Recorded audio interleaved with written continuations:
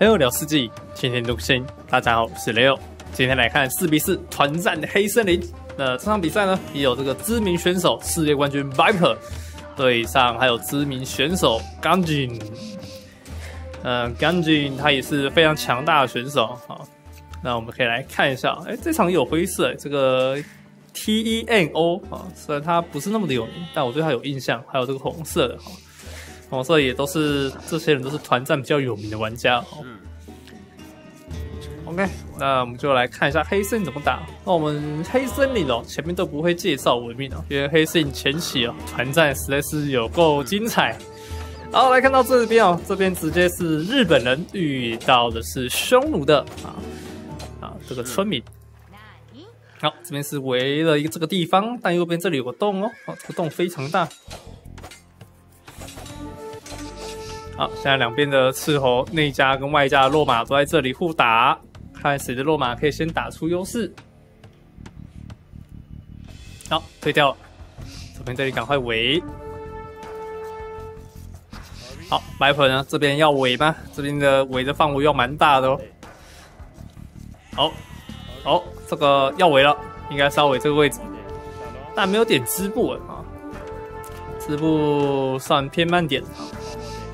好，村民已经来到七村，应该是不会断肉了。好，这里要哦，Viper 在卡对方的村民跟野猪啊。好，用这个剑石去躲一下。OK，躲掉。好，这边伺候没有在动。好，要被砍死了，Viper 肉马直接倒地。好，那橘色是拉两村民。然后这边围起来了。那中间这个地方，这边是要来围的吗？还是要来压拉野猪呢？这边野猪非常多啊，三只吃完的话就可以。这个要先拉这一只啊，再拉这一只，拉这一只。下面这个，他们这个，对，OK，拉野猪的方式相当正确。然后再用村民卡下最前面这只野猪就好了。啊，用这个刺头去卡一下，然后村民一直往后拉。然后拉给队友吃吗？还是要拉给自己吃呢？哦，如果是我的话，应该会拉给队友，因为这里离家里有点远。然后这只刺口赶快来卡一下。那只要这只刺口，只要视野一直在这个村民里哦，就可以一直追哦。那如果这个野猪呢，后面这几只野猪没有视野没有关系哦，只要第一只的野猪视野有在就可以了。所以拉三只是基本在黑森林这个拉野猪的技巧啊。哎，完了，这个有点远哦。哦，卡得到吗？还可以，可以在旁边碰一下就可以卡到。好，那如果呃是拉给自己吃了啊。那青色跟绿色都是内家，哎，完蛋了，他卡太多，呃，这个野猪只能回去了。这个刚刚三只野猪，三只都卡在一起的关系哦，村民也没有回合啊，造成这个野猪哦就会往后掉头走了。这个就是后期拉三只野猪要注意的事情啊，容易三只野猪卡在一起哦，就会有这个问题。好，Viper 有一只村民在这里后面搞事，但是被对方的斥候掌握到了。啊。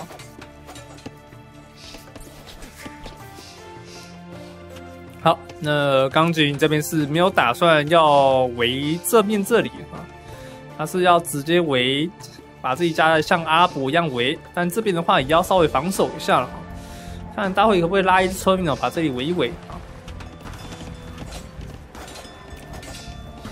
呃，这两只村民加斥候，再给 Bip 压力。这里围围把这个狼给围起来，然后走掉。好，哦，这个是灰色要来围江啊。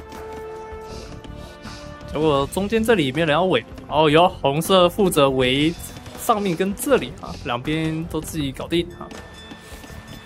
好，那这边都有双方捕鱼船，所以暂时也没问题。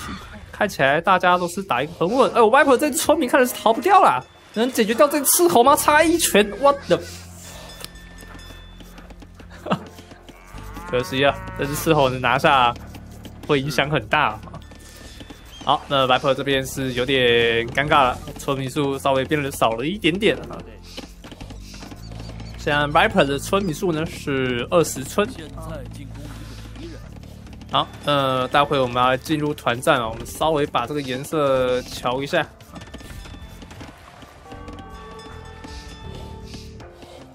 嗯，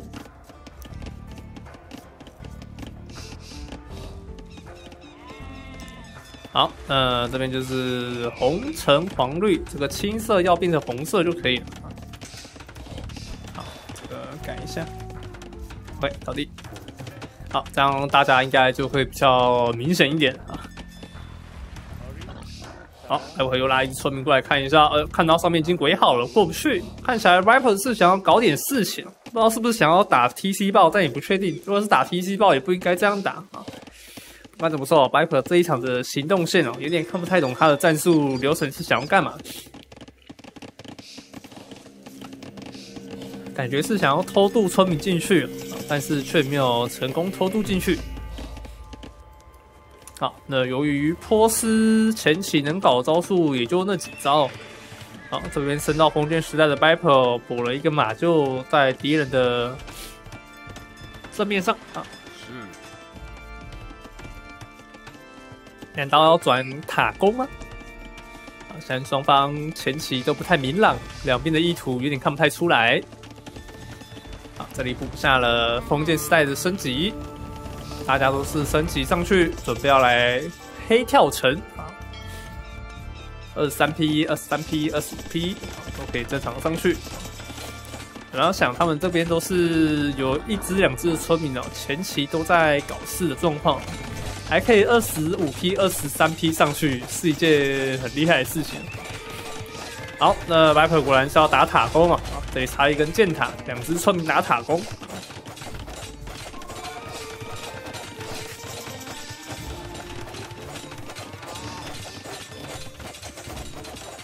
好，那紫色有过来帮忙，拉两只来盖一下石墙。那库曼这边呢是封建双 TC 开农，不想要给库曼太多的前期经济优势啊，你这样来导视一下。好，让队友来帮忙上大石墙。暂时应该是打不进去了，Viper 这边可能要放弃了，因为他这边拉的村民塔攻其实也并不多。这边 Viper 自己也拉了三只猪肉回来自己克，哇，三个猪排直接在地上开吃起来。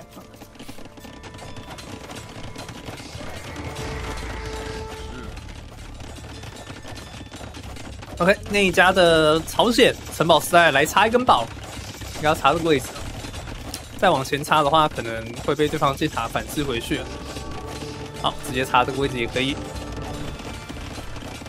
好，库曼这边升上去轮轴技术了啊。左边暂时没有任何的交火。红色这里是单纯三 TC 开农啊，也有捕鱼。后面这个大池塘，前期捕鱼捕得很开心。呃，这里有农田加成文明，好像没有。这里没有农田加持的文明，像什么中国啊、条顿哦，或者是西西里啊、波兰之类的。所以鱼池的部分哦，还是要吃好吃满。有农田加持的文明哦，其实没有那么必要去捕鱼哦，啊，直接用自己的天生的种田优势哦，把鱼池留给队友会更好一点啊。好，这边马战车过去被招降，拉回不能打。好，这里要撤。呃，那一家的波波人哦，反制非常的正确哦。投石车配上马战车，既可以打马战车，也可以砸冲车哦，让前期的快攻突破库曼这里的可能性哦降为零了啊，并不太有机会可以啊直接压制回去。好，Apple 这边是顺利的升到了城堡时代之后，点下轻骑兵的升级，还有跑速，看起来是要拿马爆一波了。然后冲进去打个一波，把里面的轻骑兵啊，把里面的僧侣跟投石车给解掉。但这面基本上是围死的，要冲进去也没有办法。那看要不要把这个，这个好像模仿打掉也就过不去，就是。有白可出这么多轻骑兵，有机会突破成功啊！好，这边想要尝试突围，点点，哎呦，用这个自爆兵冲进去打一波，一瞬间收掉三只僧侣，但是两台马战车还是被招降掉了。啊，好像只有一台而已。OK，白可这边有自爆兵啊，啊，不是白可，是朝鲜这里啊，好像没有看到，我想他怎么突破进去的啊？直爆兵两只炸掉了房子，冲了进去，这里又盖了一根城堡，想要来把博博这不是波波，把库曼这边的 TC 给拆掉。但库曼这边转了非常多的骆驼跟骑士埃普这边是波斯也有骆驼，还是要回转一下骆驼呢？那库曼这边的骆驼比较可惜的是，帝王时代没有重装骆驼，但是波斯有啊，这是波斯的一个优点。好，这里赶快围，让对方过不来，城堡继续盖。但是对方护曼城堡盖得更快，这边只能取消。哇，朝鲜这边盖堡失败，撤退。溜之大吉，酸。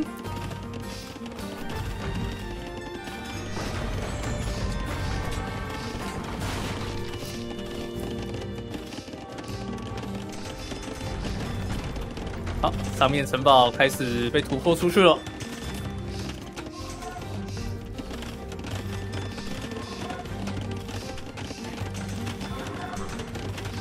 好，波斯现在目前已经开始转 TC 了。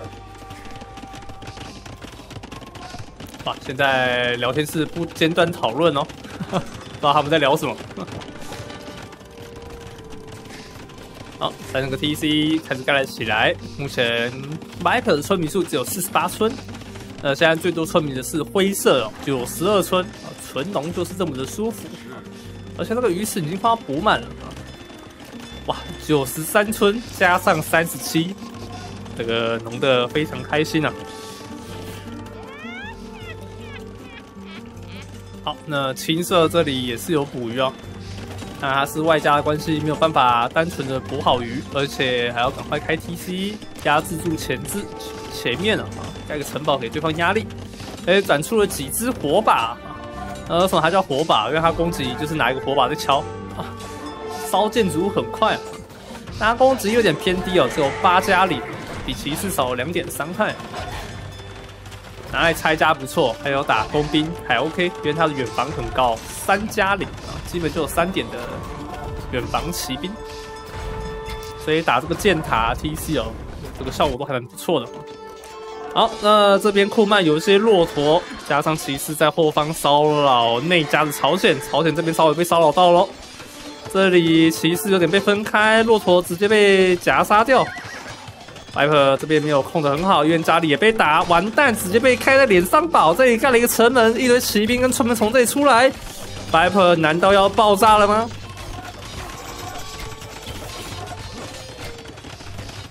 这里还转出了几只清茶。库曼现在经济大爆发，现在库曼村民数已有七十三村。好消息是还在城堡时代，白 r 这边很惨，只有六十几村。现在用四 TC 开农，但是现在有一个 TC 被压制住了，而且家里没有什么兵可以防守，后面可能要补个马厩之类的。好，但现在上面有双马厩，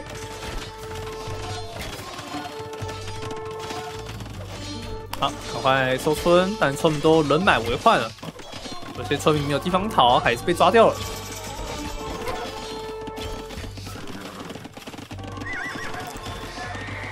好，红色这边开始升级中头喽。红色这里的文明是萨拉森，萨拉森在啊，在这个黑森里面哦，影响力非常巨大。最主要是有他有重头跟奴隶兵，还有血量最多的重装骆驼哦，所以影响力是很大的，而且有火炮、大冲车，要什么有什么。这个就是全能型的文明，进攻万花筒萨拉森。呃，日本在这边的影响力其实就没有那么巨大。如果不打马蜂的话，打一般的弩兵、强弩也算是能打，但是就是没有特色。主要还是要打步兵哦，这个骑兵跟日本武士哦可能会好一点哦，不然就是要用这个日本的大型箭塔继续塔攻哦。好，这边村民再收一下，开始村民一直被压制住，这里再补一个 TC，想要控制住这个主金的部分。好，骆驼稍微反击回去，但数量还不是很多。伯伯并没有放弃，反而是转出了骆驼工兵啊。那库曼也在进攻，我们这里直接隔离 Viper，Viper 这边确诊，队友直接舍弃。那由于朝鲜刚刚前期打城堡，而且又出一些马战车的关系啊，所以现在四 TC 才刚补下，村民数甚至比 Viper 还要少。当然，下边两家经济有够惨。好，这边匈奴利用自己的八折马弓优势，顺利的点掉了两台中头。那么匈奴在这边的打法就会比较单调一点，只有巨型投石机跟马弓游侠可以出了。呃，因为他的投石车只有轻头，所以连中头都没有，更打不赢的。好，但那家的是灰色蒙古，蒙古有重型冲车，大冲车跟重头，而且移动速度还特别快。对，这边交给蒙古出投石车应该问题不大。OK，日本这边点出了巨头，而且有这个快速拆装的话，攻击的速度更快。来普直接家里爆炸五 TC 开农，但是没有办法守得住，这样似乎就没意义了。哇，不是五 TC 也是七 TC，我的天，这么多！好，右边这边夹住，这里补了一些军营。巨型投石机升了上去，开始拆除外围的东西。好，波波又插了一根宝，继续给 Viper 更大的压力。那 Viper 这边看到他的盖宝怎么办呢？这里村民能够跑得住吗？后面赶快补个马厩，因为待会后面的骆驼过来也支援不到家里的部分了。那 Viper 这边的石头好像也不太够盖一根城堡哦，也可以盖一百一千多哎，其实可以盖。当然他可能是看到对手都已经帝王时代了，自己盖城堡也是稍微拖一下时间哦，可能不想盖之类的啊。不然应该这里要盖一根城堡，守住一下这里的矿区哦，把这个模仿低调盖这个位置。但对方有巨型投石机的情况下，应该是很快就被解掉，而且自己是没有办法升到帝王时代反击回去的。好，朝鲜这边稍微出了一些枪兵，想要挡住重装骑士吗？但是波波人的巨型投石机也在拆除城堡了，朝鲜只能自立自强，补下了更多的军营在家里，准备要一个人反击回去。因为 Viper 已经算是半个死人了。已经快没有呼吸，这边有更多的骑士过来，但 Viper 有转一些骆驼。好，那左边已经成型了，枪兵配上中投杀生。好，这里补下了重型投石车，还有三十秒。杀生中投加上配重科技哦，攻击力可以变成八十七点，不能再多啊。好，那蒙古这边也是来了，七十五加一，七十六点。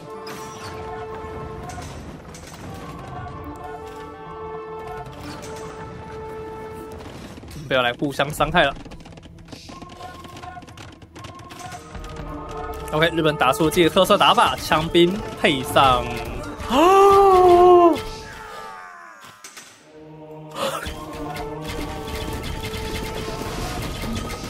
这画面似乎有点输压哇，但是自己也被投烂哦。完蛋，蒙古这里有点惨。好，这边大型箭塔打冲车，伤害很高。OK，日本就是要打大型箭塔，不然要干嘛？对不对？好，我们看一下白河这边，白河这边呼吸真的快停了。好，这时候哦，这个库曼人哦也点下帝王了。待会右侧就是要一打二，沙僧拉了一些奴隶兵帮忙一下朝鲜下方的部分。所以现在正面日本跟萨森有点难打这个地方，这里只能用大型箭塔去争取一点时间。匈奴这边非常多的马弓，好，蒙古并没有大冲车，全部都是九桃掐。OK，沙僧的重型投石车出来了，哦，是八加六，哦，八八十六点，七十五加十一啊，八十六点不能再多。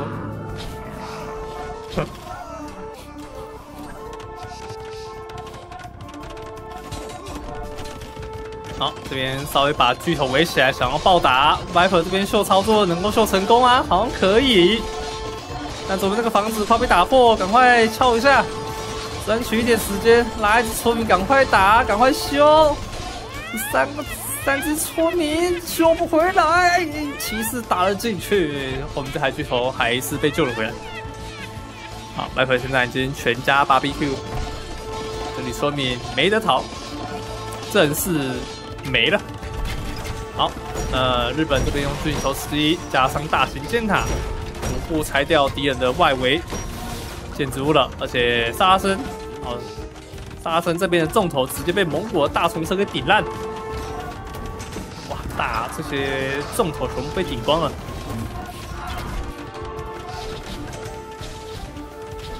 好，波波这边的骆驼工兵数量来到三四只，紧急杀掉六十只的单位。朝鲜这边转出来是枪兵。呃，朝鲜这边其实要转重头更为关键哦，枪兵配重头，我还有在转，不好意思，好，刚没看到。然后他怎么只有枪兵跟投石车？哦，原来在这。好，那朝鲜这边打法也是偏正确。好，下方 Viper 这边已经全部死光了，没有地方可以逃。但 Viper 在后面开了三 TC，哦，六 TC 开农，回农速度应该是蛮快的，但是待会会有缺金的问题，而且贸易线也不太好跑。然后待会在这里补一些四级哦，开始往从下往上跑，跑到日本这里的四级。好，那现在战场重点在这个地方了。朝鲜跟萨拉森能不能拖点时间，拖到 Viper 复活是关键哦。哎呦，投的不错。这边的箭塔攻防战哦，显得更重要。但现在遇到日本跟匈奴啊，两边都有这个巨型投石机的加成哦，其实都不太好打。那谁会有优势？我觉得有点看看几率因为凶人虽然有三三三十 percent 的命中率加成，但日本有三三 percent 的攻速加成，巨型投石机，所以谁优谁劣哦？有点是要看这个杀生人跟蒙古这里哦，能不能用大冲车突破啊，或者是用重头打破一个缺口来。所以这边两边应该是会进入一个焦灼战，呃，下方这里就显为更关键。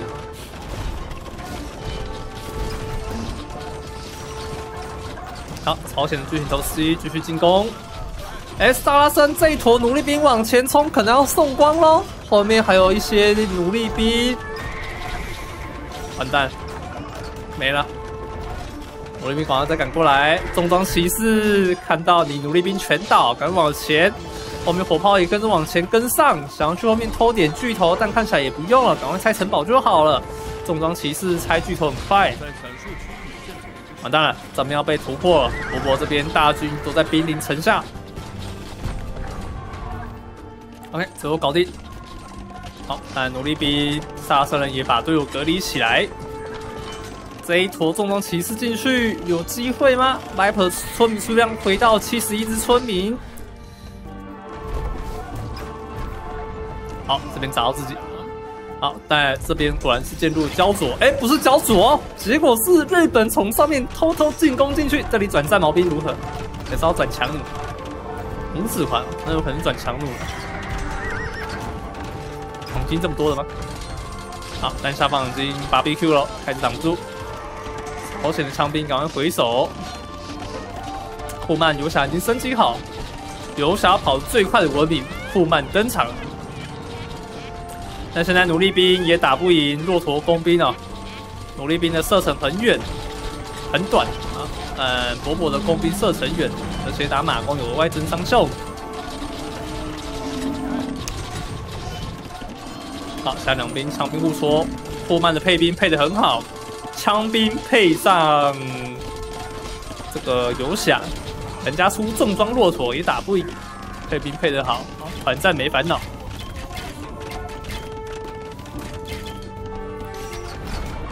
好结果上方的日本果然被击退回去，出了战矛兵也打不赢。这里要瞬间集结太慢了。他如果这边要集结的话，应该要在家里先把科技升级好。结果上去之后没有东西可以产出来，产出来也打不赢，这是个问题。升级不够完全。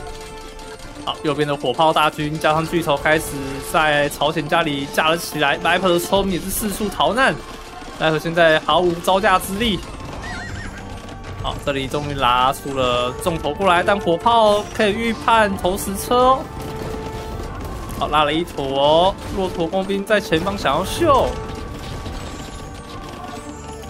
打到了，OK，再来一发，闪的很好，重头全被打掉。这时候全部的人打出了 GG，啊，我们恭喜博博，还有库曼，还有凶人，还有这个蒙古，全拿到了这场比赛的胜利哦。这场也是打的蛮精彩的，没想到 Viper 不为加，外加的黑色策略哦，终于遭受到了制裁啊。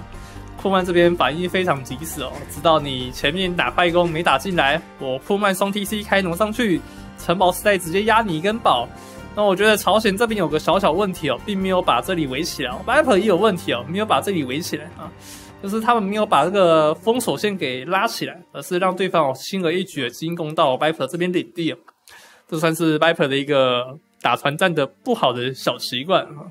就是可以靠防守反击哦，或是用的反应力预判的预判给打成功，但团战跟单挑真是不同样的游戏哦，所以大家团战时哦，还是尽可能的围加一下会比较好，好帮助自己也帮助队友。好，我们来看一下经济的部分哦，蒙古人拿到了九万九的资源胜利 哦，蒙古经济最强，好，沙城是九万四。好啦，那么今天影片就差不多到这喽。那如果喜欢这部影片，请记得帮我下订阅，我们就下次再见喽，各位拜拜。